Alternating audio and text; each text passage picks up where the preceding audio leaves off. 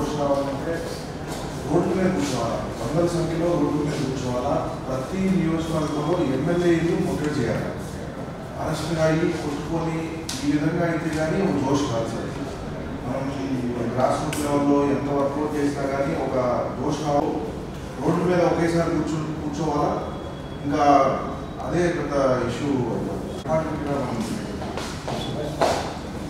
ఇష్యూస్కి వస్తే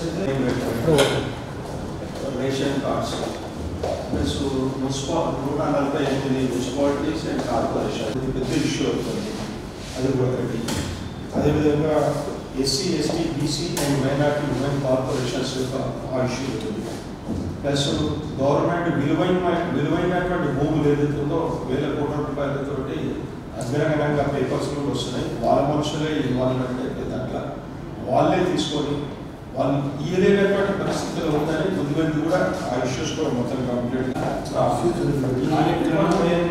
ఆయుష్మాన్ భారత్ కార్డు కూడా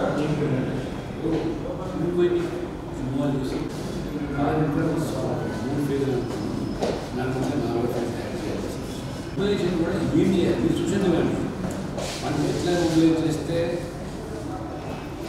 మొబైల్ ఏం పెడితే మీటింగ్ పెడతానా ఇన్ఫర్మేషన్ పెడతానా తక్కువ. వీళ్ళందరినీ కూడా ఈ తక్కువ టైం ఇన్వాల్వ్ చేసినందుకు సెంట్రల్ పాయింట్ అయితే ఇంతకుముందు చెప్పినట్టు assembly central point divisions mandals అంటే చిన్నగా అయిపోతుంది. అది మొబైల్ చేయాలంటే మన యూనిటీ చేయాలి చెప్పుకోవాలి.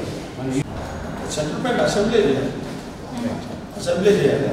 అసెంబ్లీ చేయాలి. ఇంకోటి ఏంటంటే ఇప్పుడు టీఆర్ఎస్ ఏం చేస్తుందంటే మేము ఇప్పుడు కొన్ని చేస్తున్నాము. మేమే గెలుస్తాము. మళ్ళీ మిగతా కూడా పూర్తి చేస్తాం అన్నటువంటిది కాన్ఫిడెన్స్ క్రియేట్ చేస్తుంది. దాన్ని దింపే కొట్టే విధంగా మనము అది మేమే వస్తున్నాము నువ్వు వచ్చి పూర్తి? మనము కార్యక్రమం ఏం చేయాలి కార్యక్రమం చేయడానికి కార్యక్రమం పదహారు అనేది ఒకటి మన చేతుల్లో లేదు. నేను కూర్చునేటప్పటికే మొత్తం అప్పు మూడు మూడు ఇచ్చిన వేరే డేట్స్ లేదు ఇక. మేము సొంతంగా చేసుకుంటాం. ఆ డేట్స్ దగ్గర వాళ్ళు వేరే కార్యక్రమం ఇచ్చినారు.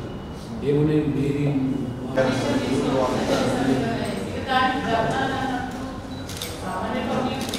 స్లోగన్ ఎందుకంటే ఆ వాయిస్ వెళ్తేనే ఆయన ఒకటే స్లోగన్ని ఎలక్షన్ వరకు రన్ చేయగలిగితే మధ్యాహ్నం లోపల మీరు మళ్ళీ కూర్చొని